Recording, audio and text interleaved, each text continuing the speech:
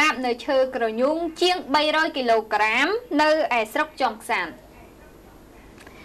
ឈើប្រណិតប្រភេទក្រញូងចំនួនជាង300គីឡូក្រាមត្រូវកងរាជអាវុធហត្ថស្នាក់ការសម្ដេចតេជោហ៊ុនសែនធម្មជាតិសហការជាមួយនឹងសមត្ថកិច្ចជំនាញ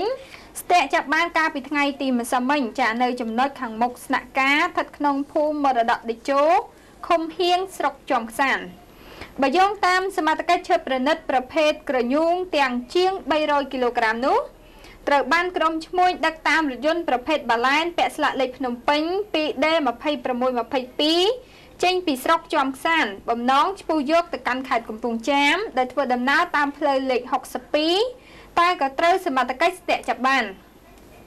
ក្រោយពេលស្ទាក់ចាប់បានម្ចាស់រថយន្តបានរត់គេចខ្លួនបាត់ដោយបន្សល់ទុកតែរថយន្តនឹងឈើប្រណិតប្រភេទក្រញូងចំនួន41ដុំស្មើនឹង316គីឡូក្រាម